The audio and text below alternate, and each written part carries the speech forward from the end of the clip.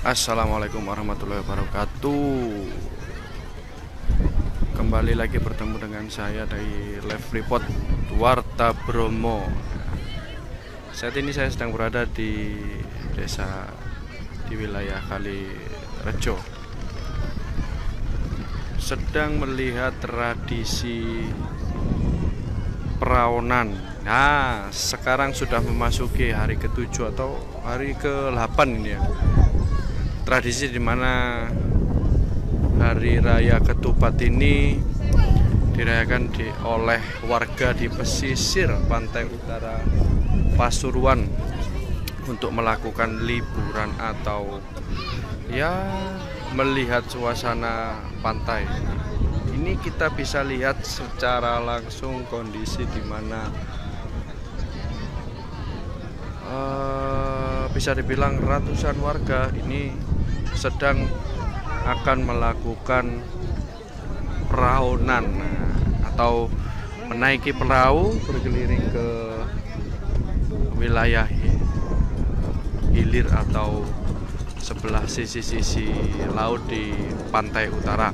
Di sini ada beberapa desa mulai dari kecamatan Kraton ke arah timur tepatnya di wilayah Panggung Rejo Kota Pasuruan sejumlah warga maupun warga dari sini maupun dari luar daerah misalnya kabupaten maupun kota Pasuruan sedang melakukan liburan atau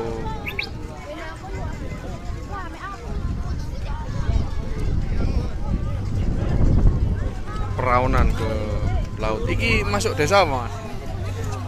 Nah ini masuk desa Kalirejo, kecamatan Melkota yuk. Oh, Kalirejo, kecamatan Keraton, Kabupaten Pasuruan. Nah, kita bisa lihat sendiri kondisi saat ini banyak warga yang masuk, yang balik.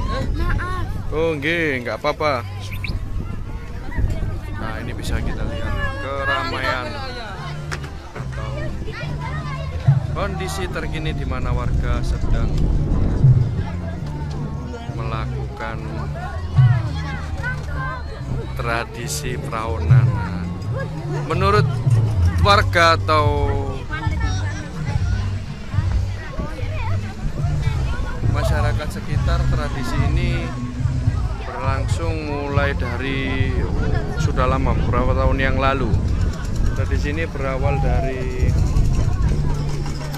di mana warga yang sedang melakukan silaturahmi di momen atau momentum lebaran ini untuk bersilaturahmi ke beberapa rumah warga yang berada di pesisir atau